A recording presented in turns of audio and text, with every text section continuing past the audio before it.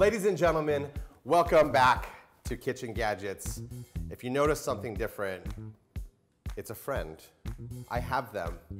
Esther Choi, right here. What's up, Cliff? What's up? Esther is also the chef owner of Mokbar here in New York City and Ms. Yoo. What are we testing today, Esther? Here we go. We're testing the rice cooker, of course. You do cook rice in your restaurant. I do cook rice in my restaurant and of course at home like every single day, but it's it's also like when you guys were like, hey, you're gonna test the rice cooker. I'm like, of course I am, of course. yeah, well, I mean, it, it's better. It's better you. Hey, I'll be that token Asian. You know. You know, I'm down with that. Speaking of token, we are testing two rice cookers. This one is from my house. It's the one I've had for 10 years. You may recognize it from certain college dorm rooms. That's ridiculous. I, ha- I used to have that in college. It's the Aroma rice cooker. It's around 40, 40, 50 bucks. And we are testing it against the Ferrari of rice cookers with a price point of around $350. Yes. Looks like this one has white rice umami. That's a setting. Yes, that's a setting. Quick, which probably means like quick cook. Yeah.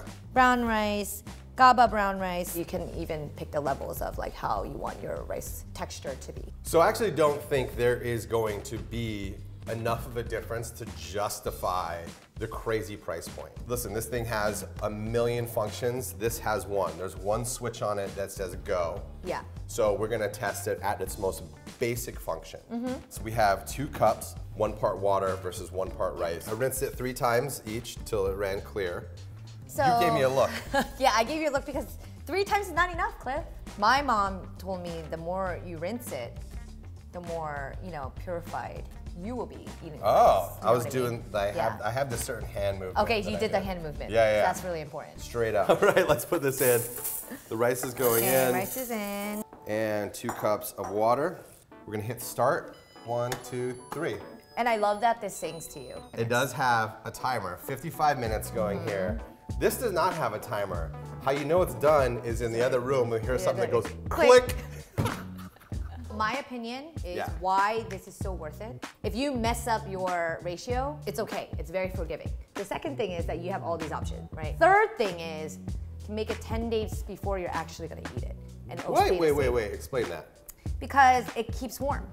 Right after it cooks, it'll change the uh, setting to warm and then it'll just keep in here for like days and days until the rice goes bad. This particular rice being Japanese short grain rice, um, it should be like slightly sticky but still like beautifully like pearly. Yeah. So you know also what I mean by that. consistency, Consistency throughout like the top, entire thing. Mm-hmm. top to bottom. Here's a little aside.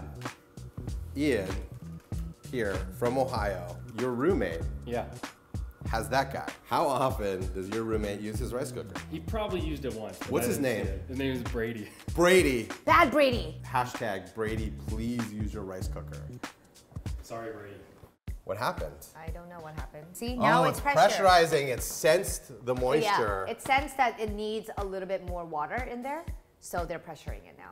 So this one, it's just like steaming out. So I don't know how that's gonna cook. In. Oh, that's Oh! But as anyone knows who has one of these things, that first click, It doesn't mean that it doesn't mean anything. You gotta let it like hang out for another 10. Yeah. See, if someone bought that, how would they know that the rice, th- like they just heard the click, so they're like, okay, it's ready. I have a feeling that no one just buys this one blind. Like they already know. So Cliff, um, this started to steam. Oh, I don't know what that means. Um, it means that they're letting out some of that The steam, moisture? but yeah, but it's still on pressure, so it's still pressuring, but they're letting some of the moisture out. the big thing with a lot of these products is like the cleanup. This one, honestly. Has the sticky layer on the bottom. yeah, it has a sticky layer on the bottom, which is a freaking pain in the ass to like. Throw it in the sink, you let it soak for a minute. Uh-huh. and- You have to like scrub it. Whereas this one, it's like the non-stick. Literally, when you you don't even have to wash it because it's that clean and perfectly. It sings to you. That's lovely. Rice is ready. It gets you like excited. It's like, oh my god, my rice is done. For the grand reveal, let's open it up and see. I mean, that's looking pretty good. I mean, it's sick. Oh, no stick on the stick. bottom. Each, Each grain grain- is very individual. None of the grains break. You ready for this guy? I mean, look, eh, hey, hey. It's not terrible. Oh. Okay. Oh, Oh, but it's mushy. So here we go. It's mushy. That's very mush. And look, it's scorched here. So it's uneven. if we're talking about perfection right now. We are talking about perfection. Yeah, I'm I, just I see brown parts in there. Like this part is obviously like a little bit Yeah. harder than like this part, right? This guy is a little whiter. Mm-hmm. It's more full. We have some that are not as full. Here, they all are really even. Let's taste this one first. Okay. It's a little mushy. It's uneven, straight up. If someone brought that to me, I would be like, bad rice. Bad rice. Oh God, even the texture coming out is already different. I mean, that's, yeah. That's really It's rice. so different. I know that you're some of you are sitting at home and being like, "What's just the?" That's rice. But for someone who actually like does a lot of rice dishes and really cares about this thing, and someone who eats rice on a regular basis, this is a it's a Huge. noticeable difference. Yeah. You know, it's it's kind of like that low and slow thing. Yes, this this took maybe almost double the time, but there's a reason for that, and sometimes you have to be a little bit patient for perfection. I thought this had a chance because I guess you learn to cope with the inconsistencies Uh-huh. for so long. This is this is like that old pickup truck that you know you have to like kick three times and then you have to move the stick shift left and right. We do understand that the Zojirushi does make better rice than Old Blue, the aroma. But does it make the $300 investment on top of this? I would say if you're cooking rice at least twice a week, Because then you span that out over a course of a few years and you're just getting yeah, exactly. So I guess basically, if you've ever had a conversation to talk about the consistency of rice, that's your guy. Mm-hmm.